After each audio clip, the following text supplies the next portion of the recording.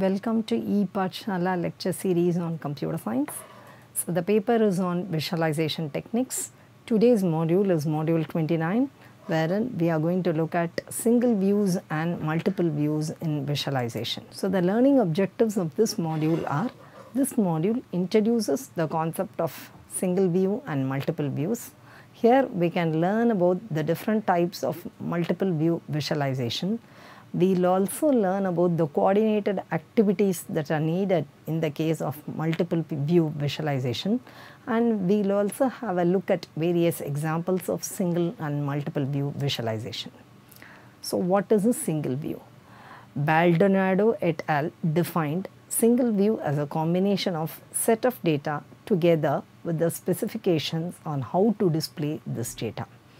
So imagine a set of pairs for example which represents the time, the data set which represents the time, temperature, size and weight or some certain coordinates.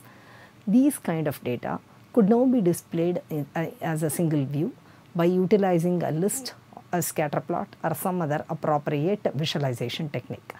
Such type of data representation used by a single view is often referred to by the term form. So this is an example of single view visualization wherein we can see that this is a Ebola data that is being uh, provided with respect to certain years. This is also another one single view visualization where we are having a look at the percentage progress guide which talks about the percentage of progress that has taken place. Next one is a multiple view visualization, a system design in which two or more forms are used to display the same data is called as multiform. If two or more views enable the users to learn about different aspects of the conceptual entity, they may be called as distinct views. For example, two scatter plots visualizing the same data in exactly the same way would definitely neither classify as a multiform nor as distinct views. However, if one of these scatter plots display data in greater detail, users could observe data at a higher granularity and therefore might thus learn a different aspect of it. Then that is called as multiple view or as multiform visualization. Roberts says the term multiviews generally refers to any instance where data is represented in multiple windows. Baldonado also says that multiple view system requires some kind of distinct views. There are various types of multiple views that are possible in visualization.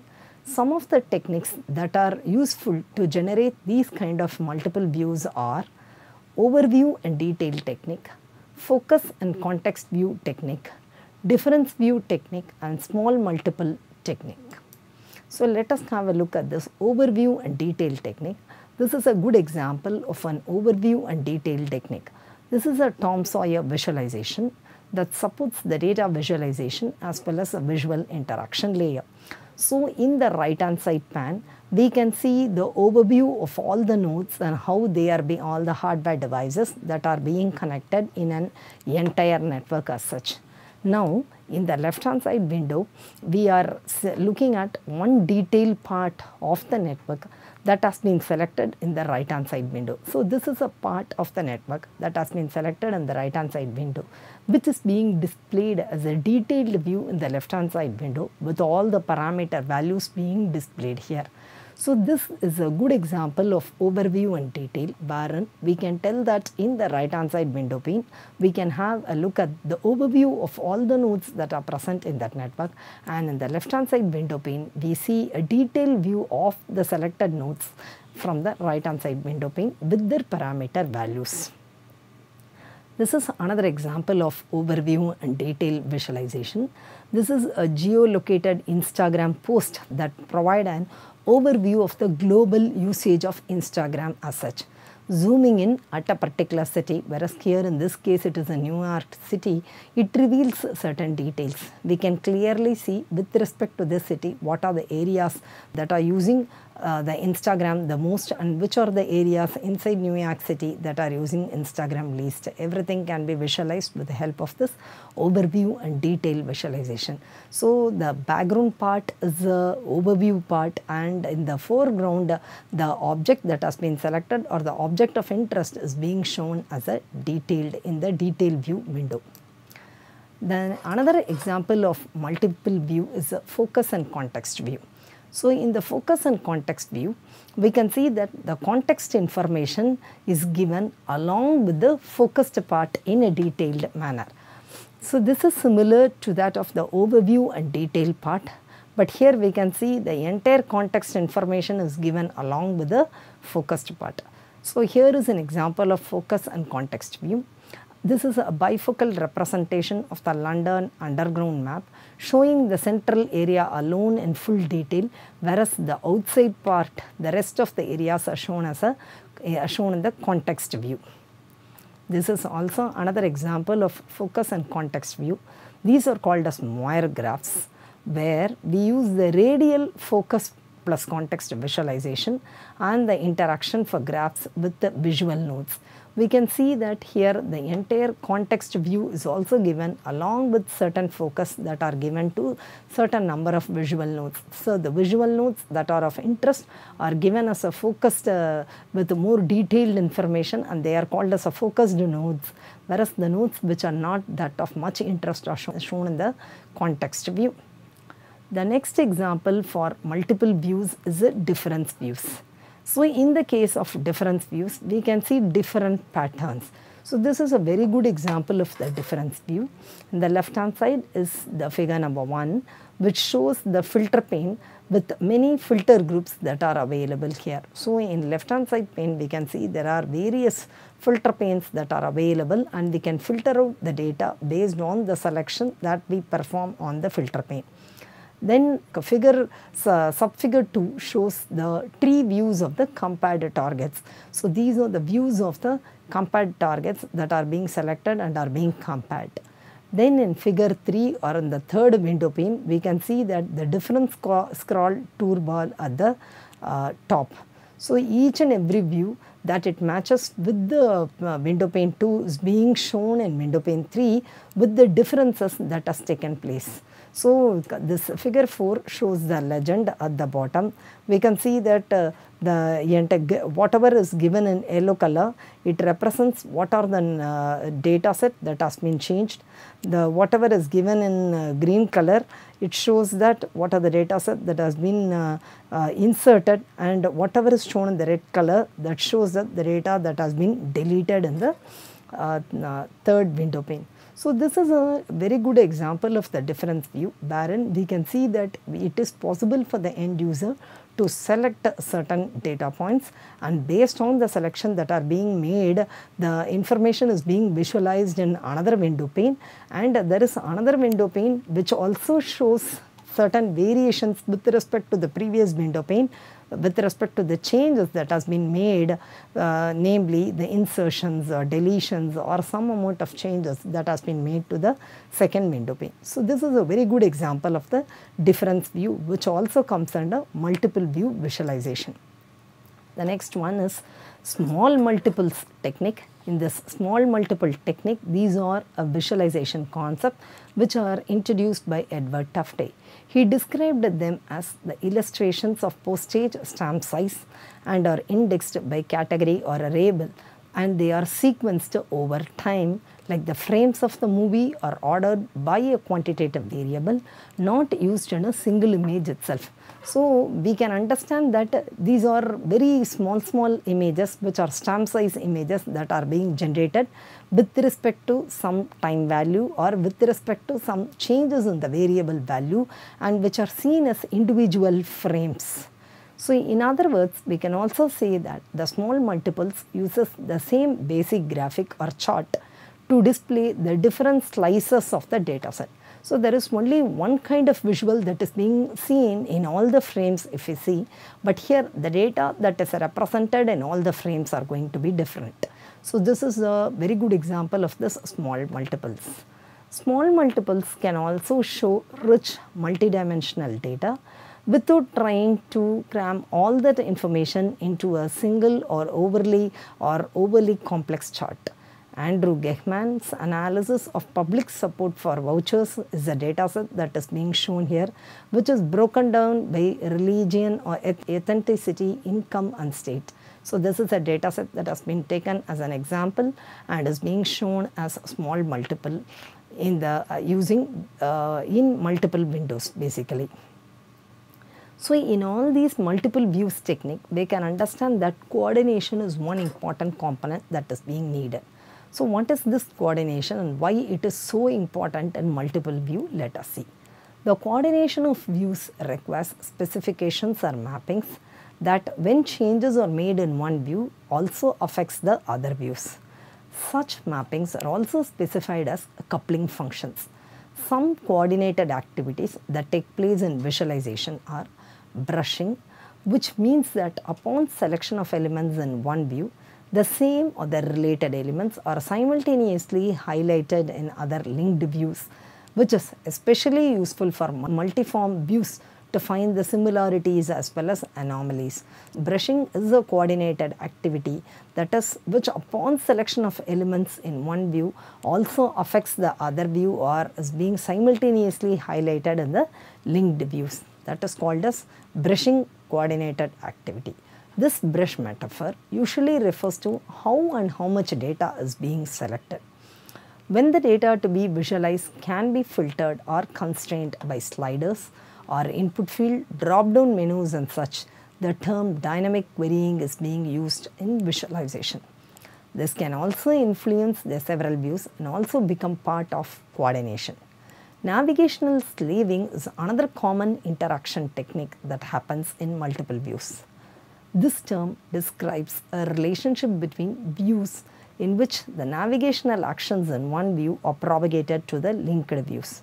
For example, the synchronized scrolling that happens in side-by-side -side views would be a form of two-way navigational slaving. So this is an example of synchronized scrolling that happens in two side panes. So this is some collection of information. This is the different collection of information. The same information is being depicted in a different form. So when I try to slide in the left hand side window, the automatically in the right hand side window the scroll bar has to slide and see to that both the windows are in synchronization with each other. So this usually happens multi-views or multi-form visualization. So here is an example. I have selected a particular uh, object and that object is being displayed in the other window. It synchronizes with that object and it shows the display in the other synchronized or multi-form window. So, if it is going to be the same item, same collection of information or it can also be some different collection of information as such. So, these are good examples. This is also called as navigational slaving. There are various challenges in multiple views. So, if you look at the challenges, the learning time and effort required to use the system properly is more when compared to that of single views. In the case of multiple view, the load on the user's memory when using the system increases. Similarly, the comparison effect required when using the system also increases. There is a context switching effort that is being required when using this kind of system because our brain has to switch over from the from one window to another window then the computational power required by the system is also increased in this case. The display space that is required by the system should uh, will also increase because instead of one single view, we are supposed to show multiple views to the end user. Similarly, the design, implementation and maintenance of the resources required by the system also increases in multiple views. So, these are certain challenges that we face in multiple view visualization. What are the rules that are there are certain rules that are supposed to be followed while creating multiple views. So let us have a look at all these rules. The first rule is the rule of diversity which states that we need to use multiple views when there is diversity of attributes models user profiles levels of abstractions or genre so when there is some difference or diversity in the case of attributes and models we need to use multiple views in that case which is called as the rule of diversity. The next one is the rule of complementary which states that we need to use multiple views when different views bring out the correlations as well as the disparities. The next rule is called as the rule of decomposition wherein the partition we need to partition the complex data into multiple views to create manageable chunks and to provide insight into the interaction among the different dimensions of the data. This is called as the rule of decomposition since we are dividing the data into various forms or we try to create some manageable chunks out of the data that we have. The next one is the rule of parsimony. The rule of parsimony, we state that you try to use multiple views in a minimal way. The second set of rules that covers also covers the view presentation and interaction which also involves coordination and they are given as follows. The rule of space or time resource optimization states that we need to balance between the spatial and the temporal cost of presenting the multiple views with the spatial and temporal benefits of using the views. The next one is the rule of self-evidence which states that we need to use perceptual cues to make relationship among multiple views more apparent to the end user. The rule of consistency also states that make the interfaces for multiple views consistent and make the states of multiple views also to be consistent. The rule of attention management states that use perceptual techniques to focus the user's attention on the right view at the right time.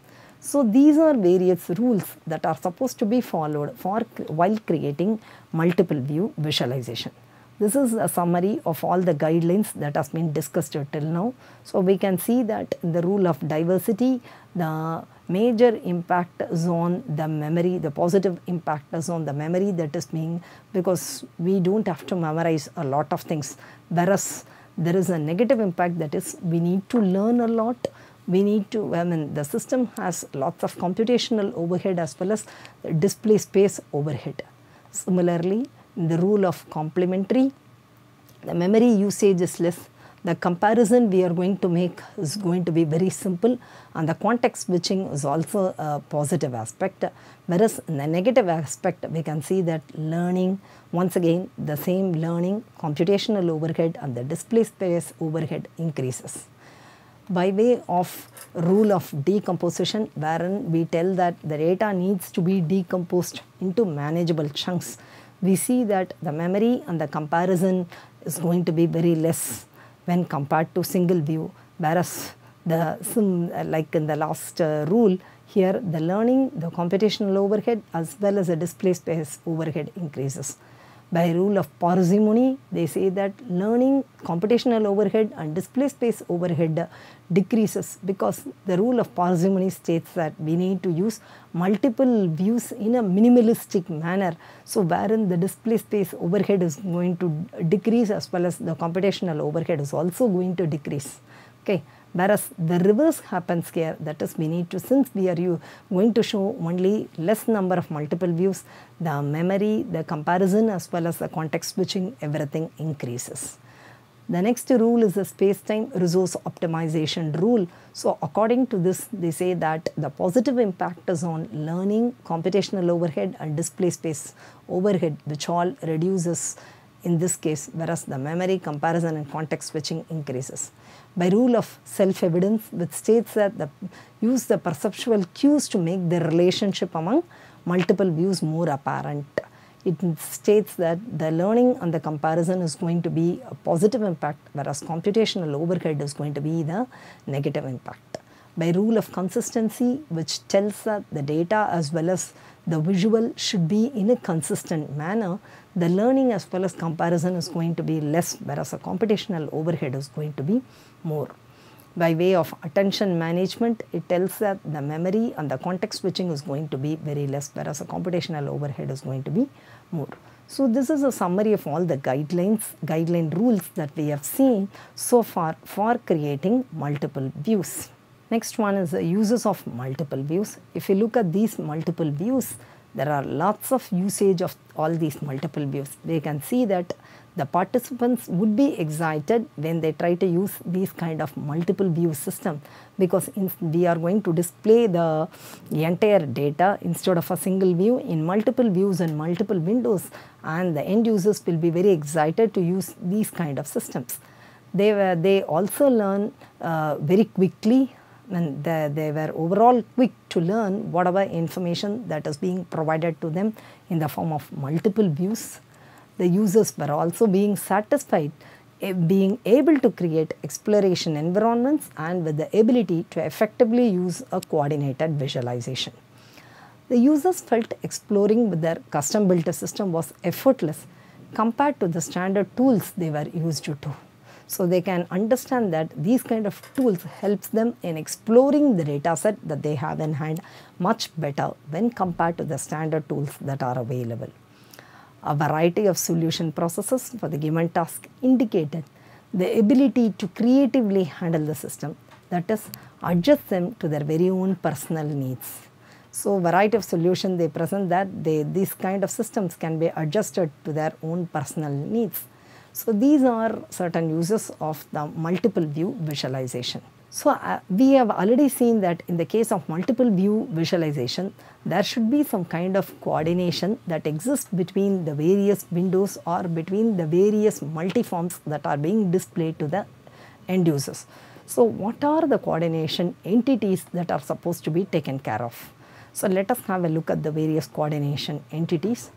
The exact subject of coordination, namely the view parameter, data, the view, the parameter, data, process, events and aspects of displaying window are supposed to be considered here. The first one is a type, very close to the concept of a type in a programming language. Coordinations have a type as well, be it primitive or complex type of coordination. So the type of coordination that is the, the type of coordination that happens between multiple windows has to be the same or has to be in coordination with each other. The next one is a translation between the types might also become necessary. And next another coordination entity that needs to be considered as a translation aspect. So when, when I try to translate something in one particular window, similarly in the all other views or in all other multiform windows, that translation has to happen in a, a similar manner. The next one is chronology.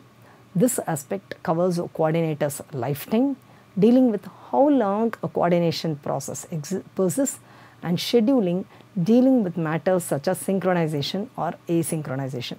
The chronology is also another one coordination entity that needs to be considered because in whatever chronological order that is being displayed in one window has to be displayed in the same chronological order in the various other windows or in multiple windows also.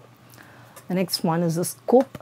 The scope of a coordination restricts in terms of link ability for example whether any arbitrary entity can be connected. So what is the scope of this coordination? The coordination scope is being restricted with respect to link as well as the ability for linkage. Okay. So whether any kind of arbitrary entities can be connected and things like that. The next one is the granularity of links that happens between multiple windows. This looks at how many entities and how many views there are in coordination as well as how many links an entity contributes to coordination. These are called as a granularity of links. The next one is a initialization entity. Here we look at how a coordination is being created and also how links between the entities are created is contained in this particular aspect of coordination. The next one is updating several update models can be applied. For instance, the user initiated updating, lazy updating, greedy updating and these kind of updates can lead to inconsistencies in the multiple view that have to be resolved or even better avoided from the beginning. So updating is another one biggest challenge in the case of multiform visualization because when we try to update the data set in one particular window or in one particular view that has to be reflected in all other views so that it has a consistent data set at the end basically. So updating is another one uh, very important coordination entity that needs to be considered. The next one is realization. This aspect decides on general realization matters such as if and how to convey which entities are linked to each other as well as how users coordinate and interact with each other. So, having uh, looked at the various coordination entities, let us have a look at the various examples of multiple views. So, this is one interesting example of multiple view visualization wherein there are various windows in one single display. So, we can see various panes of windows maybe 1, 2, 3, 4, 5, 6 windows are being displayed in this particular window pane. So, this is an information visualization tool with multiple coordinated views which represents network traffic analysis. So, we can see the data set that is being selected in the top uh, window is being displayed in the bottom window in a more detailed manner and on the right hand side we can get the data points of it. The data points are being visualized on the left hand side and the kind of changes that are made to this specific data set is also being projected in the right hand side and another one window pane. So, this is a very good example of multiple view window pane. So, this is another example of multiple view window pane wherein the coordinated views are shown to assess the exploration of spatio-temporal data that is the window's placement reflects the location on the map. So, basically I can place the window at any specific location and that reflects the location that is being displayed on the map as such. So, here we can see the various multiple views that helps in spatio uh, that helps in visualizing spatio-temporal data as such. This is another interesting example of multiple views wherein this multiple view approach is used for smooth information retrieval that is a screenshot showing all four different views. So, you have one view of the entire region, you have the textual information related to that particular thing, you have the data set related to the particular visual that is being shown above. So, these are multiple views of the visual that is being shown in the left hand side window pane. Then there are other examples of multiple views this is another one interesting example of multiple views wherein we can see that the coordinated and multiple views are also used in augmented reality environments. Two coordinated scatter plots are being used in the top left hand side corner to get some kind of coordinated details out of it. This is in the case of augmented reality, multiple windows are also being used. So, this is the kind of multiplane calibration that happens in a multiple view. So, we can see that how the plane is being calibrated. The advantages of this kind of multiplane calibration is we need to require only a plane and you do not have to know the position or orientation of the plane as such. So, this is an example of a single view metrology in real life. This is how the camera parameters changes in the case of multiple views, we can see that the intrinsic parameters like principal point, focal length and the magnification factor, the skew factor as well as the extrinsic parameters like the rotation and translation which are related to the world coordinated system, world coordinate system that is being displayed here. This is the real world multiple view as such. A person is standing in the middle of the room, how he views the real world as multiple views. So, there are lots of things associated with this kind of multiple view. That is you have, you need to look at n linearities, we need to look at the multiple view reconstruction, we need to look at the bundle adjustments, we need to look at the auto calibration, the dynamic uh, SFM, the chirality and the duality associated with the camera basically. So, this is a multiple view geometry, an example for the multiple view geometry where A, B and C are the focal points. So, we can see that A, B and C how they are being projected, calibrated, transferred and are being projected onto a screen. This is multiple view reconstruction, how actually the multiple view reconstruction takes place with the help of affine factorization and projective factorization it happens. This is with the help of sequential reconstruction technique how a multiple view is being reconstructed. These are certain applications of multiple views of a typical scene. A scene which is being viewed in multiple views is being shown here. It, uh, I mean, we can use, uh, we can compute the camera motion from the video. We need to register the real as well as the virtual object motion. So, this is 3D modeling.